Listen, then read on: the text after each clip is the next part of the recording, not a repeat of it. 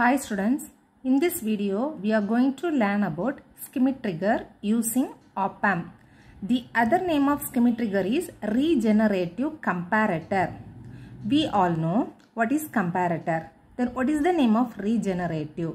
So here regenerative means positive feedback. Then what is regenerative comparator? So regenerative comparator means if you are adding a positive feedback to the comparator circuit that is called regenerative comparator or it is called Schmitt trigger. It is clear? If you are adding a positive feedback to the comparator circuit. If you are adding positive feedback in the comparator circuit, the gain can, gain can be increased greatly. This is the circuit diagram of Schmitt trigger. Here we are applying the input voltage to the inverting terminal. This is the feedback network that is given to the output to the non-inverting terminal. So, in this circuit, the input VA is applied to the inverting terminal. So, we can say this is inverting Schmitt trigger and the feedback voltage is applied to the non-inverting terminal. Now, it, it is clear? Okay, then here the input voltage triggers the output voltage V0 every time it exceeds certain voltage. Okay, when the input voltage exceeds some certain voltage, it triggers the output voltage. Okay, the input voltage triggers, I said the input voltage triggers the output voltage. It exceeds some certain voltage level. That voltage level is called the upper threshold voltage and lower threshold voltage. Then the input voltage Vi is greater than upper threshold voltage means our output voltage will be plus Vsat. That means plus VCC. Okay, that is equal to this supply. Then Vi is less than lower threshold voltage means our voltage is minus V saturation or VEE. This is clear? Here the input voltage compared with this feedback voltage.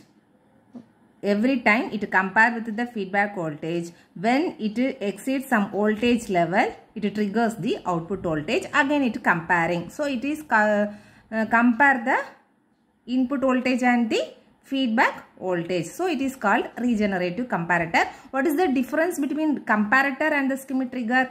Comparator means we are not adding the positive feedback to the circuit. Schmitt trigger we are giving the positive feedback.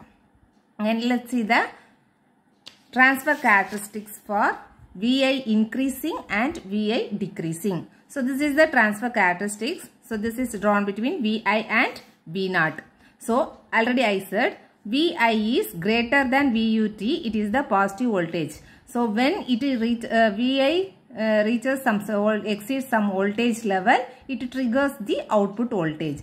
Okay, this is the concept. So now the voltage is constant. When VI is greater than VUT, that means upper threshold voltage. When this is VI, now we are increasing the VI input voltage. Now the input voltage is increasing the upper threshold voltage, the output voltage is switched to minus V saturation. Is it clear? Now we are decreasing the VI voltage, input voltage. That is we are decreasing the uh, dec uh, input voltage. When it exceed lower threshold voltage, the output voltage switches to plus V saturation. If you are comparing these two graph, we will get like this. So here this is the this is for upper threshold voltage level. This is for lower threshold voltage level. If you see this graph, this is the hysteresis loop. We all know what is hysteresis loop. Now we calculate the hysteresis width.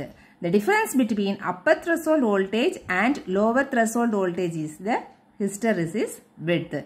That is represented by hysteresis width represented by VH that is equal to VUT minus VLT that is upper threshold voltage minus lower threshold voltage. Then we have to calculate what is the value of these two. Now we calculate threshold voltages that is upper threshold voltage and lower threshold voltage. upper threshold voltage, we are taking the output voltage is equal to plus V saturation. So the voltage at the non-inverting terminal is, what is the voltage at the non-inverting terminal? Let's see.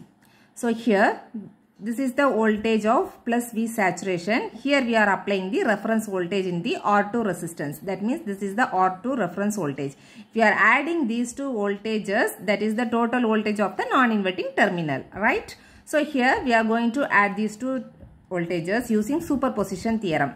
So here first we are using one voltage source is short circuited. So first we are going to short circuit this voltage source. Then only the voltage V0 is equal to 0. So here we are applying KVL that is V reference into same voltage divided by same resistance divided by total resistance that is R2 divided by R1 plus R2. So this is the first source.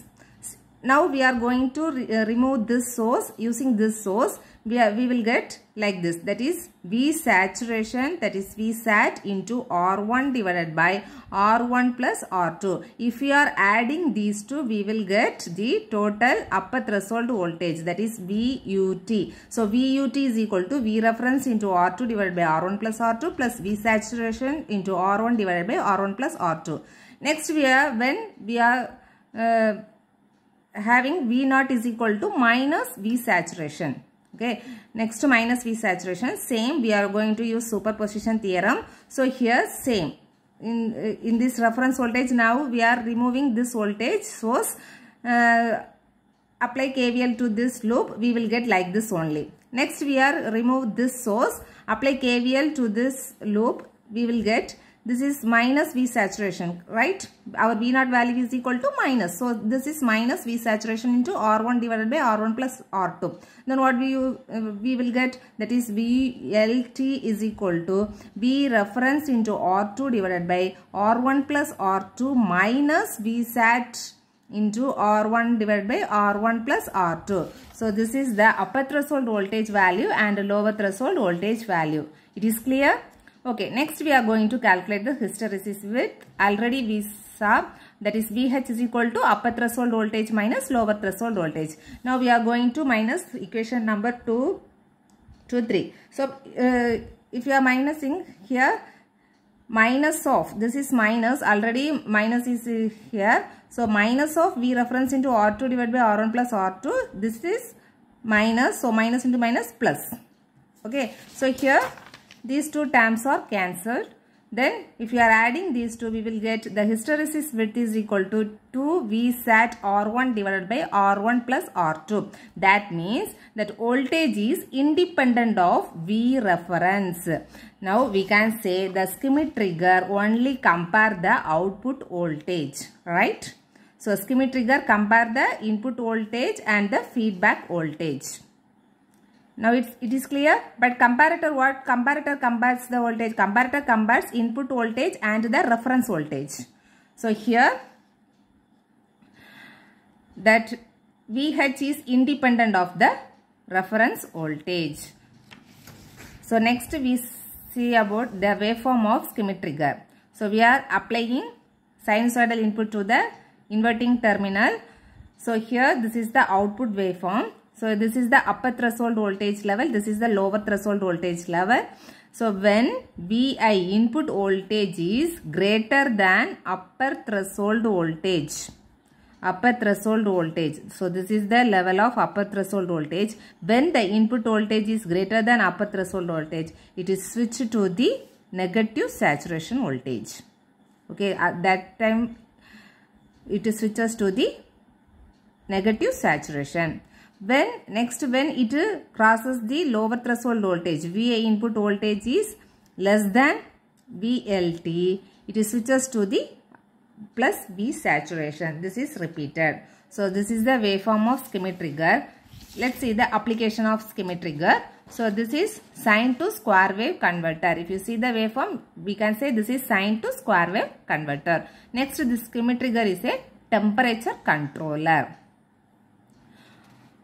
so in this video, we learn about Schmitt trigger. Thank you.